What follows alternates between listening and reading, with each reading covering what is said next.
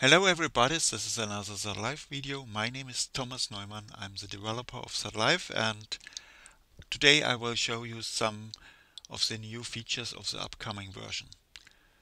This uh, new version will hopefully be available in during the next week. One thing that is new is a trigger level that has been added to the impulse response measurement. Um, you see a new button over here which means a threshold. Uh, what is this for? So uh, in normal operations there's still a threshold available for the impulse response but it has been a fixed one, a very low um, level. So in most cases, as soon as you have a mic uh, connected, you, you will see something moving in your impulse response. Um, last week I did a small video about synchronizing to microphones and this is what where this feature came from. So if we have a situation where we have two mics picking up the same source like a snare top and a snare bottom mic. We have two mics and we can also use a dual FFT to compare those two mics. So um, opposite to normal operation of uh, room measurements where we have a direct feedback loop to feeding the signal in the reference input, now we are looking on two microphones. So we don't expect something linear, but we want to see the relation of the both uh, signals. So for example, let's go here. We have two mics on a snare. This is one. And this is the other one. And I'm feeding both uh, to the two sides of uh, SATlive. And you will hear a mono addition of both signals. but in my live I have some on the right and on the left input signal. So um, if we look at the pulse response graph, you see we have some uh, increased energy at the center, near the center, but we don't get any information. And you see the traces uh, moving all the time. So um, I just want to act only on the snare data, so I uh, apply the threshold and so you see the housing gets a little more stable but still we don't see a lot of information even if we are running with 16 averages here. So um, for the task we want to do, we want to match two mics um, we just uh, need another kind of information. And this uh, kind of information could be the correlation graph, because the correlation is not uh, looking on the frequency response, something like that. Just it just tells us which delay we need to have to to get both signals as similar as possible and so we can enable it using the K-view button over here. Um, show K-view and now you see we have the K-view here. I just reset the averages. And it's also drilling up here. And you see uh, how it changes with each hit on the snare and you also see that we have not only one peak over here, we have different peaks. We have uh, the trace also jumping up and down. So um, we just set it even harder, the whole thing. And now you see it's re working really only on snare hits. And you see we have now uh, stable trace. We have one peak here. Um, we have two other peaks. So just we at the moment let's look take this peak. It's uh, heading downwards, which means that it's um, uh,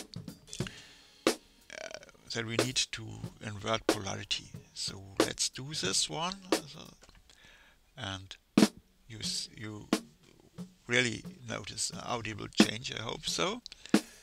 And because of our averages, I just do a reset, and now we see we have the same picture, and I just uh, reduce the amplitude here to get more obvious. And we have our very close.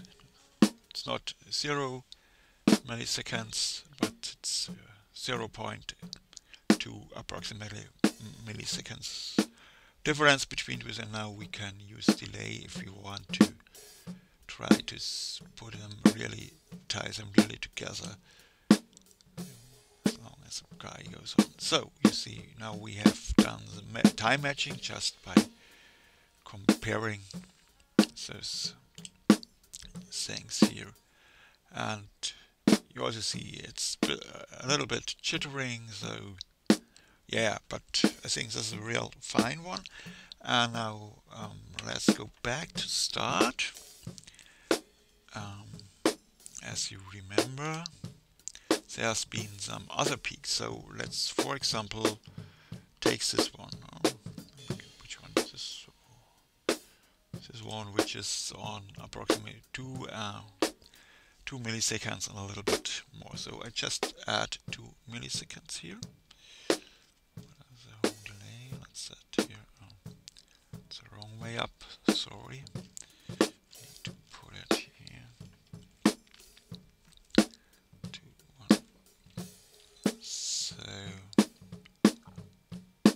and you you notice its sound quite similar to what we get before but now we have a real lot of uh, delay on one of the two mics. So I prefer the method before where I choose the peak which is close to zero which would be this one here. And we can do it in the other direction also go back reset and you see it's similar to doing uh, time alignment on uh, speaker systems uh, you often have more than one possibility available here. This is our next one we could take it's uh, very similar. So because of our face circle it's just uh, another 360 degrees between those two and he, here is one 180 so we have energy, main energy on let's say um, this one. So we have uh, a difference of about 4 milliseconds and now you can use this one to calculate uh, the frequency of the main energy of our snare. So this is uh, what the threshold is for if we um, open the whole thing up without a threshold the trace will get really more uh, unstable because any other information we got uh, bleeding in here will also create uh, some signal here and you see it's just jumpy and yeah so uh, using this threshold value will help us on impulsive signals to clean up the whole thing here and get it more and more stable. So you can use this for, you know, we did it for snare, top and bottom. You can use it for bass drum, in and out. You can use even overhead to snare using this method to uh, get your settings. Another thing that has been added is support for higher sample rates. So uh, if you're using uh, a, a CO IO device, which I think is in most cases true, um, now you can you have the possibility to choose uh, a bunch of different sample rates to interface with the and yeah this is for the interfacing. The internal calculations are still done by 48 or 44.1k. So it's just to uh, connect to uh, systems like Dante networks or something like that, which are running with a different sample rate. So I just choose here 192k for sample rate and just to show you that it's working I go over to impulse response I'll run my oscilloscope and playback a 1k sine wave and you see it's really stable it's now um, being ups uh, outputted with 192k and has been downsampled for display again here. You see it's working and just another thing is uh, wave player here which is now supporting higher sample rates also and also I don't see I have a um, something available. Yes we have something available here. And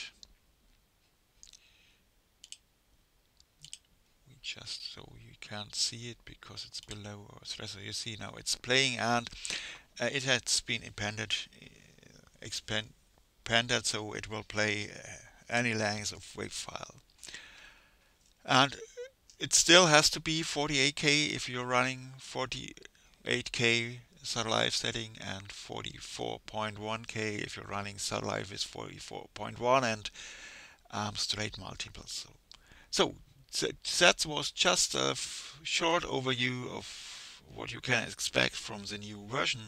There has been also a lot of internal improvements, uh, speed increase, increased speeds, uh, some fixes, and also um, so the language file support has been cha changed so now you can use uh, any language file on any computer for example let me show you this one which is not here. If we choose a Chinese one you see it will display fine on my computer here with German Windows settings. I have all this nice things over here. Just this one needs something to update. So yeah.